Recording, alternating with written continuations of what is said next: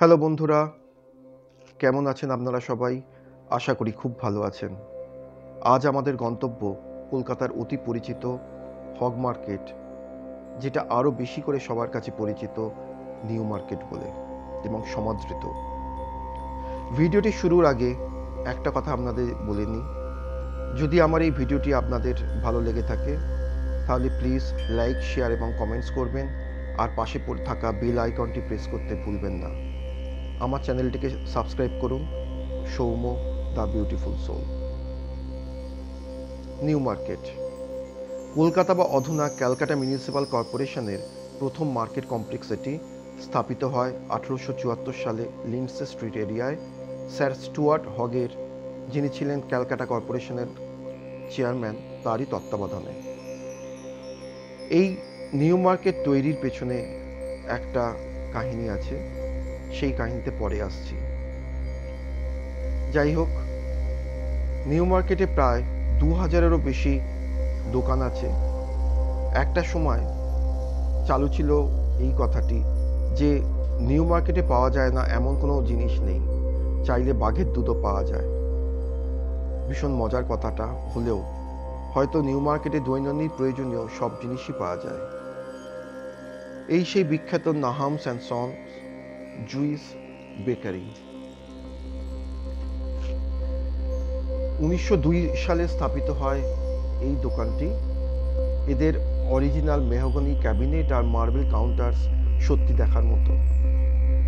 এদের rich fruit cake, brownies, marzipan, macaroons আজও সমানভাবে জনপ্রিয় এবং সমাদৃত। এই ইম্পেরিয়াল কনফেকশনার্স এবং ডি গামা এই দুটি শপও সমানভাবে সমাদৃত। ক্রিসমাসের সময় বা নিউ ইয়ারের সময় লম্বা লাইন এই দোকানগুলির সামনে থেকেই বোঝা যায় আজও কতটা জনপ্রিয় এই দোকানগুলো। যাই হোক এই নিউ মার্কেটে ক্লোদিং থেকে wheel luggage electronics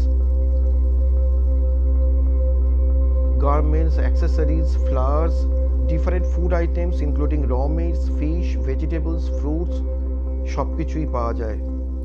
ক্রকারিস and utensils স্টোরসও আছে এই নিউ মার্কেটে এদের ড্রাই ফ্রুটস সেকশনটাও খুব অথেন্টিক এবং নানা ধরনের ড্রাই ফ্রুটস পাওয়া যায়।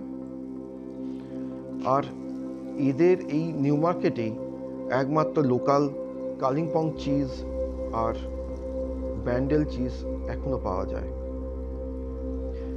এটি একটু বিখ্যাত চুনিলাল অ্যান্ড শ, বিখ্যাত স্পাইসেস শপ বহু প্রাচীন এবং এখানে খুব অথেন্টিক নানা ধরনের স্পাইসেস আপনি পেয়ে যাবেন। ভীষণ জনপ্রিয় এই স্পাইসেস শপটি আজও।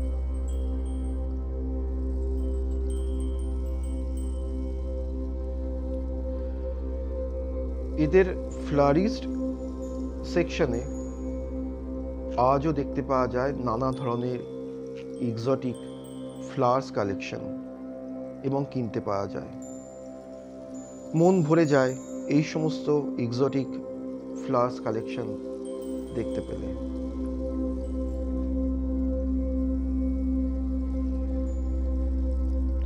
যাই হোক, চলে আসি সেই নিউ মার্কেট শুরুর কাহিনী নিয়ে। সেই সময় ভারতীয়দের সাথে মানে নেটিভদের সাথে গা ঘষাঘষি করে একই বাজারে বাজার করাটা খুব বিরক্তিকর ছিল ব্রিটিশার্স এবং ইউরোপিয়ানসের কাছে। আর তাই তাদেরই দাবির কথা মাথায় রেখে স্যার স্টুয়ার্ট হগের তত্ত্বাবধানে গথিক শৈলীতে স্থাপিত হয় আঠেরোশো চুয়াত্তর সালে এই কলকাতার প্রথম এই মার্কেট কমপ্লেক্সটি। মহিলাদের কাছে নিউ মার্কেট ভীষণভাবে জনপ্রিয়। ড্রেস মেটেরিয়ালস তো আছেই। তাছাড়া এদের সিলভার জুয়েলারি কস্টিউম জুয়েলারি, গয়না, গহনা খুবইভাবে খুবই সমাদৃত মহিলাদের কাছে।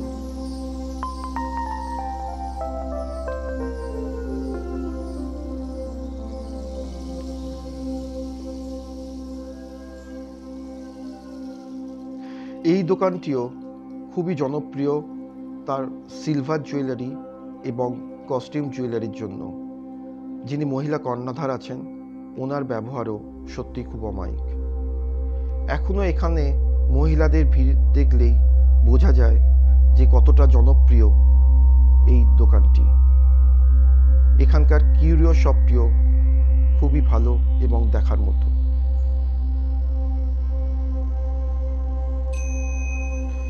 এদের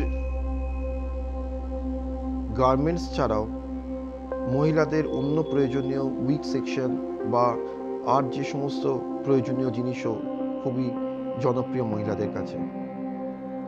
ক্রকারিজ অ্যান্ড ইউটেন্সিলসের আলাদা সেকশন আছে। এখনও এখানে বিভিন্ন এক্সক্লুসিভ ক্রকারিজ আইটেম এবং ইম্পোর্টেড ক্রকারিজ আইটেম কিনতে পাওয়া যায়। এখন কলকাতার নানা জায়গায় গজিয়ে উঠছে এসি শপিং মল।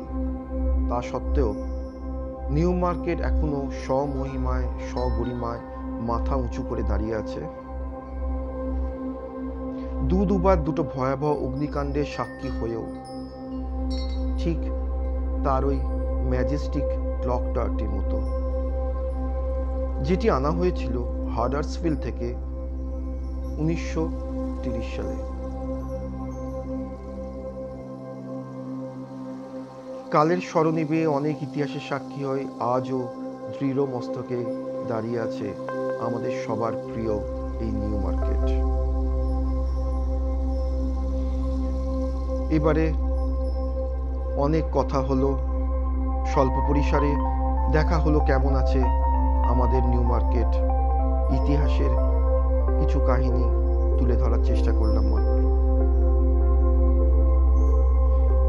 ঘরে ফেরার পালা। ভালো থেকো, নিউ মার্কেট। ভালো থেকো আমাদের সবার প্রিয় কলকাতা।